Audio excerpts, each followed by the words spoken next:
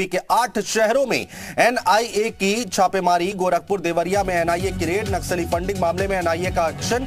पाँच जिलों के आठ शहरों में एनआईए का छापा और आजमगढ़, प्रयागराज, चंदौली में छापेमारी की गई है। तो ये बड़ी खबर हम आपको बता रहे हैं, अहम खबर है।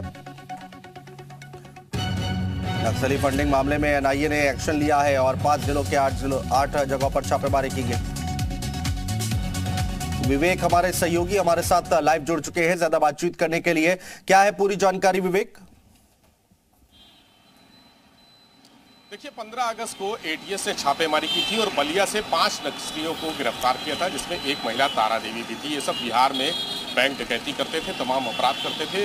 लोगों को नक्सली विचारधारा से जोड़ने के लिए तमाम अभियान चला रहे थे, ऑपरेशन चला रहे थे। इस पूरे मामले को अब चूँकि नक्सलियों से संबंधित मामला है और जितना जो उत्तर प्रदेश के अलावा आसपास के कई अन्य जो प्रदेश हैं, वहाँ पर इनका तार, इनके जाल फैला हुआ था। अब इस मामले को एनआईए ने टेक ओवर कर लिया है।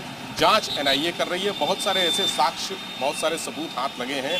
जिनमें कई बड़े नाम भी हैं, छत्तीसगढ़ से लेकर, बिहार से लेकर, मध्य प्रदेश, उत्तर प्रदेश, तमाम राज्यों में इनके तार जुड़े होने की जो सबूत हैं, वो मिले हैं। अब एनआईए इस मामले में छानबीन कर रही है, जाँच कर रही है। तारा देवी से पूछताछ में जो जानकारियाँ एटीएस को मिली थी सत्य प्रकाश एक पकड़ा गया था, जो किसानों के बीच में आंदोलन करता था, किसानों को नक्सली विचारधारा से जोड़ने के लिए अभियान चलाता था। इसी तरह से तमाम और लोग हैं जो अलग अलग तरीके से नक्सली विचारधारा को पूरे उत्तर प्रदेश से लेकर अन्य राज्यों में प्रचारित प्रसारित करने का काम कर रहे थे। इनकी जड़ें तलाशने के लिए एटीएस ने जब शुरुआत की तो कई राज्यों से चूँकि जुड़ाव मिला तो एनआईए ने इस पूरे देशव्यापी चूँकि नक्सलियों की जड़ें तमाम प्रदेशों में हैं, खासकर उत्तर भारत के कई प्रदेश और मध्य भारत के कई प्रदेश इनसे जुड़े हुए हैं नक्सली राज्यों में। उत्तर प्रदेश का जो पूर्वांचल का तमाम हिस्सा है, वहाँ पर नक्सली गतिविधियाँ हैं। तो सबसे पहले जो रेड हुई है, आज जो रेड का सिलसिला शुरू हुआ है और ये रेड अभी आगे चलेगी। आज